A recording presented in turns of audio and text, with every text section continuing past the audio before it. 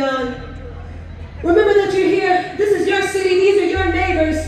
These are your folks. This is your community.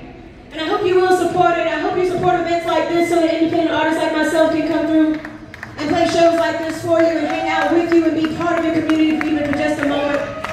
It really does truly mean a lot. And means a lot if you support things like this. You have these amazing volunteers here today. And I tell you, the hospitality has been so incredible. People have treated us so well.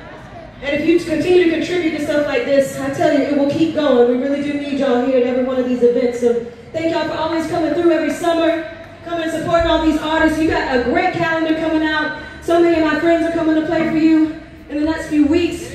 And I'm just so excited for y'all to hear some good music. And again, I'm so excited to be here. So make sure you contribute to those blue buckets out there too. Keep showing the love, y'all. We really do appreciate it. I'm playing on my own tunes tonight, but I gotta give a little love to one of my all-time favorites, the Queen of New Orleans, Miss Irma Thomas. If you know this one, I hope you sing along. It's called Breakaway.